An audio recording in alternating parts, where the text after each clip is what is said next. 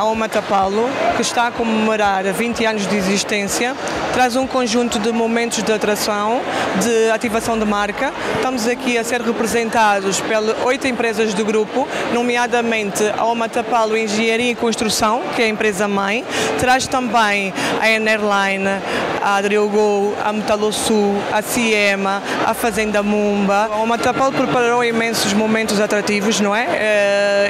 Para mostrar ao seu público-alvo aquilo que tem feito ao longo dos 20 anos, as obras, principalmente as obras emblemáticas, tudo aquilo de melhor que a Oma Tapalo tem feito uh, no, ao longo dos 20 anos. Preparamos também algumas ativações de marca, que é o que está a decorrer hoje na Fazenda Mumba. Nós temos uma convidada que é a Elizabeth Martins, que está a confeccionar alguns pratos com os produtos da nossa Fazenda Mumba, nomeadamente a carne.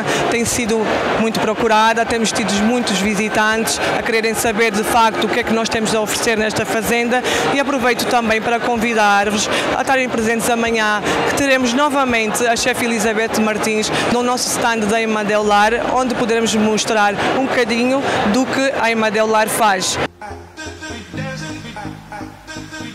Eu sei que já provou o Beef Wellington. Um, na sua visão, como é que está? Que avaliação é que faz? Olha, eu fiquei mesmo muito impressionado, não só com a capacidade da chefe Elizabeth Martins, que eu já conheço há muitos anos, isso é mestria, mas é mais com a capacidade dela fazer um Beef Wellington no meio da filda, num forno eh, de tostadeira e também fiquei super impressionado com a qualidade da carne.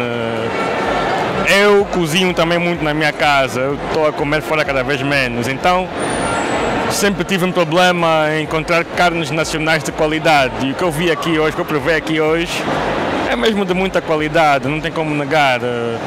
Eu comi um bife Wellington feito com bife de lombo, né, chamado filé mignon, com uma ternura incrível, quase que derretia na boca obviamente muito bem temperado pela chefe, mas mesmo se a chefe não fosse boa, o bife tem qualidade suficiente para ser comparado, digo, aos melhores bifes a nível mundial. E eu fiquei mesmo extremamente impressionado, não estava à espera disso.